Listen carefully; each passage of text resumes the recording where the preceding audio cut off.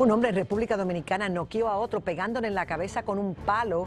La violenta pelea comenzó porque la víctima, que aparentemente tiene problemas mentales, estaba amenazando a varias personas con un machete.